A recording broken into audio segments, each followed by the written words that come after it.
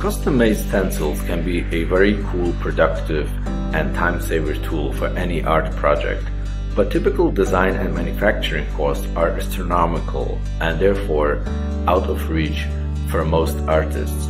However, that's all changing. With the help of SelfCAD's unique artistic modeling tools, you can design any stencil in just minutes and 3D print them for a fraction of the cost. Interested? Then stay with us and watch this tutorial. For our first design, we will create a stencil with nice leaves.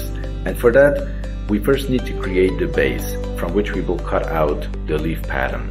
Create a cube, you can find it in the 3D shape section. Set depth to 1.3 and apply. Now the base is ready.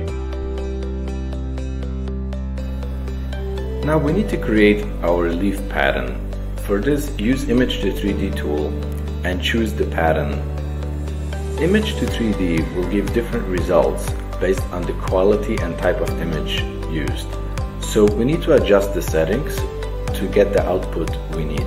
Set resolution to 250, tolerance to 0.8, amount to minus 8, blur to 3, and switch on anti-aliasing to make our model smoother. To position the leaves onto the base, use scale with key proportion on. You can find it in the advanced settings. This is the fastest way to scale proportionately. Our base is 100, so set x to 85 and this will leave us a margin of 15 divided by both sides. Then open the align utility, select our existing model and set align to the middle so our model is positioned in the center now. Now we need to cut the pattern from the base. We will do it the easiest way. Select both objects and use Stitch and Scoop tool with option difference. Choose our pattern in the drop-down so it will be cut out and the stencil is almost ready. Quite simple, right? No artwork tutorial is complete without showing how to add a watermark, so I will add a SelfCAD logo to illustrate how to do it, while at the same time show other Image 3D settings we did not use before.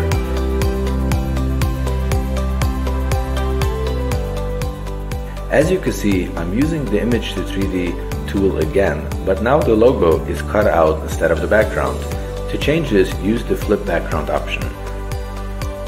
I will also change the amount a little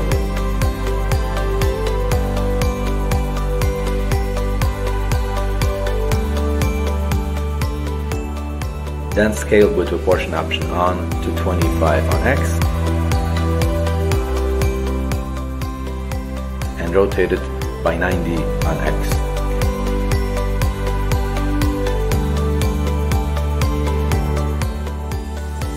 I see I need to scale it a bit more on Y. Then to position, select the move tool, switch on the magnet and move it onto the stencil. As you can see the magnet makes it automatically stick to the other objects. This was so quick and easy now I want to show you an interesting way to copy and automatically position the same logo on the other side as well. Open the copy offset tool, select the pivot option and make one copy.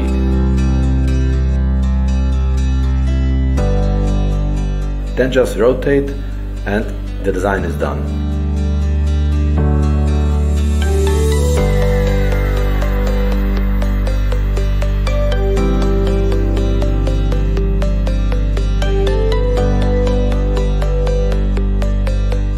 Now to print our model, correctly merge all objects, then apply Magic Fix with 250 value to fix and solidify all objects and we are all done.